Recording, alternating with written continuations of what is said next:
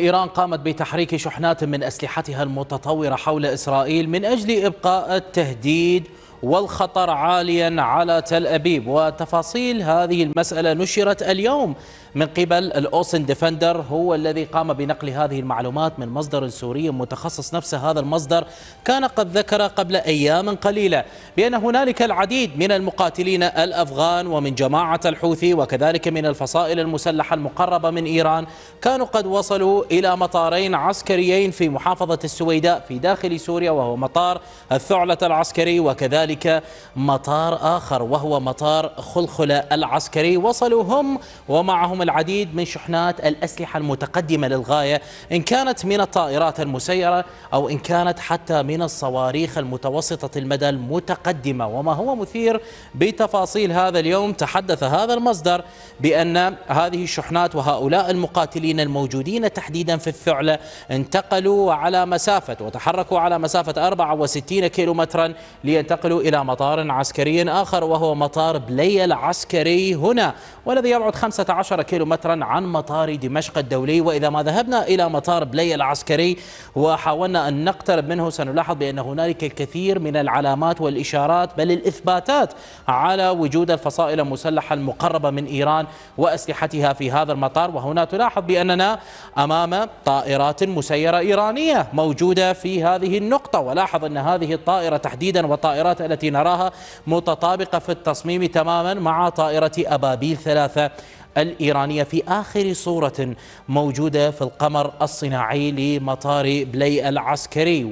والمثير بهذه المسألة بأن وصول هذه الأسلحة إلى هذه المطارات تحديدا التي نتحدث عنها الآن وهي مطار الثعلة وكذلك مطار الخلخلة العسكري. كان من المفترض وأخذت نظرة وكان ينظر بأن وصول هذه الأسلحة سيعني بأن الفصائل المسلحة تجهز لتنفيذ هجمات على مرتفعات الجولان أو حتى العمق الإسرائيلي من هذه المنطقة. لكن انتقال هذه الأسلحة إلى مطار بلي العسكري أعطت صورة مختلفة الآن بأن هذه الأسلحة محتمل جدا أن تنتقل الآن إلى لبنان وأن تصل لصالح حزب الله اللبناني. ومثل هذه الشحنات من الأسلحة ستكون مفيدة للغاية بالنسبة لحزب الله حيث أن إزرائيل ريدار اليوم كان قد تحدث بمعلومات مثيرة للغاية بأن حزب الله رغم كل الهجمات التي نفذها منذ الثامن من أكتوبر من العام الماضي حتى يومنا هذا بالصواريخ تحديدا وكذلك الضربات الإسرائيلية الكبيرة التي وجهت على حزب الله اللبناني بالطائرات وعلى مستودعات الصاروخية والبنى التحتية الصاروخية إلا أن ما استنزف من الصواريخ بالنسبة لحزب الله اللبناني عبارة عن عشرة آلاف صاروخ تقريبا أي أن حزب الله لا زال بحوزته ما يقارب المئة وأربعين ألف صاروخ من أصل مئة وخمسين ألف صاروخ أي أنه لا زال يمتلك ترسانة هائلة وكبيرة وقادر على إيذاء إسرائيل إذا ما اتخذت إسرائيل القرار لزيادة طبيعة التصريح التصعيد ووتيرة الهجمات على حزب الله اللبناني على الرغم من أن إسرائيل أثبتت بأنها تعرف الكثير عن الترسانة الصاروخية والتحركات الصاروخية لحزب الله اللبناني. عندما حاول حزب الله في الخامس والعشرين من أغسطس الماضي الانتقام لفؤاد شكر إلا أن كانت هنالك ضربات استباقية كبيرة من إسرائيل أبطلت القدرات وشلت قدرات حزب الله في تحقيق أي نجاح في الهجوم الذي كان من المفترض أن يحقق نتائجا أكبر من النتائج التي تحققت على الأرض. بالتالي هذه الأسلحة أن تصل بهذه الطريقة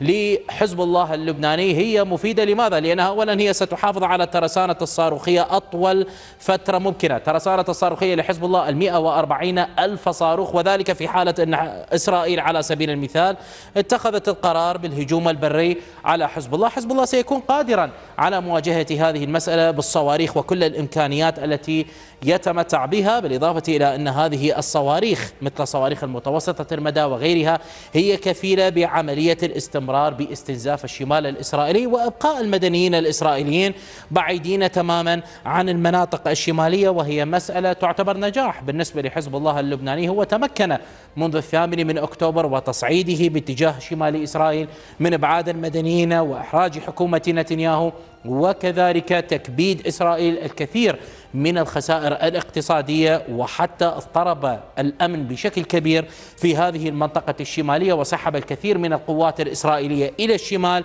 من آه، الهجوم أو سحبهم وشاغلهم بشكل كبير وبالتالي إسرائيل نوعا ما واجهت مشكلة في التعبئة في الاحتياط في قطاع غزة وفي غيرها من الجبهات.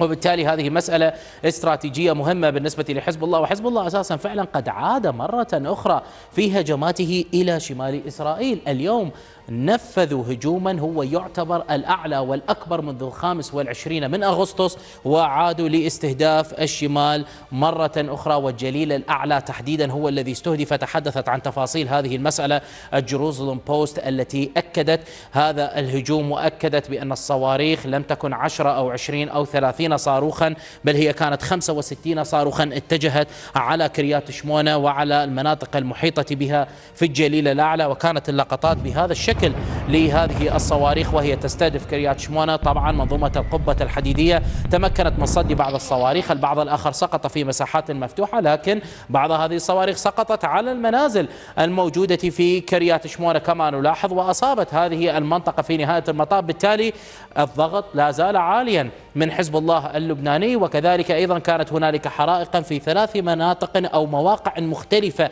في كريات شمونة بالتالي إشعال الشمال والنار في الشمال لا زالت تشتعل وهو الذي يبقي المدنيين بعيدين تماما عن العودة عن شمال أو إلى شمال إسرائيل. والنقطة الأساسية هنا أن تحركات الصواريخ المتطورة والطائرات المسيرة في الداخل السوري هجمات محتملة من سوريا على العمق الإسرائيلي وكذلك أيضا هجمات حزب الله المستمرة على الجليل الأعلى على الجليل الغربي أو على شمال إسرائيل بشكل عام. هي تبقي الدفاعات الخاصة بإسرائيل طبعا تحت الضغط وتحت الاستنزاف وتحت المشاغلة وهي دائما وأبدا تفتح الباب لمن؟ للقاعدتين الصاروخيتين المهمة في إيران وهي قاعدة تبريز وكذلك قاعدة كرمنشاه من أن تحقق هجمات عبر الأجواء العراقية والسورية للوصول عبر مرتفعات الجولان إلى عمق إسرائيل دون أن تكون هنالك أي منظومات دفاعية آه، تعترضها أو تؤثر عليها وبالتالي هذه الساحات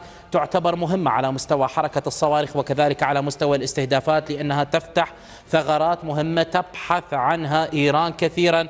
كما فعلت على سبيل المثال في عملية الوعد الصادق ألا وهي التي جرت في شهر أبريل تحديدا. لم تكن هذه الجبهات فعالة ولكن ممكن أن تكون فعالة بشكل أكبر في المستقبل إذا ما اتخذت إيران القرار بالانتقام من إسرائيل. ولا زالت مسألة التهديد الإيراني حاضرة رغم تباطؤ إيران كثيرا عن الهجوم على إسرائيل حيث أن المتحدث باسم البنتاغون ذكر يوم أمس بأن لا يزال تهديد الهجوم الإيراني على إسرائيل قائما.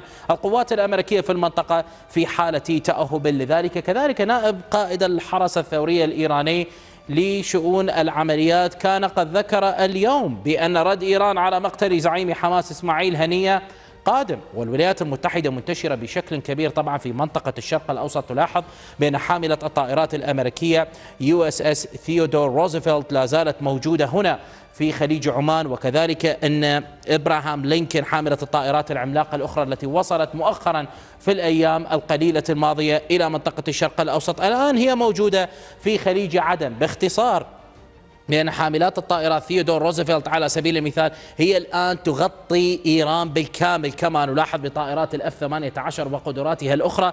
وكذلك أيضا أن إبراهام لينكن تغطي الآن بموقعها الحالي وتواجدها في خليج عدن اليمن بأكملها وأجزاء كبيرة كذلك من البحر الأحمر. كما نلاحظ بالتالي هو انتشار منسق والولايات المتحدة لا زالت ترى الخطر قائما ومن الممكن أن يأتي في أي لحظة. وبالحديث هنا عن إيران أنها تتباطأ لا تستهدف إسرائيل لم تنتقم لا بشكل مباشر ولا بشكل غير مباشر ولكن في نفس الوقت هي تحقق الكثير على العديد من المستويات على المستوى النووي على سبيل المثال كان هنالك مصدرا تحدث اليوم وهو The Free Press على أن هنالك دراسة حقيقية في الداخل الإيراني ونقاشات بأنهم يريدون الوصول إلى القنبلة النووية مع كل التصعيد الجاري في المنطقة وذكروا الآتي النقاش حول الحق في تطوير الأسلحة النووية يدور داخل أروقة الحرس الثوري الإيراني وهذا التقرير يأتي بعد أيام قليلة من تقرير صدر من الوكالة الدولية للطاقة الذرية.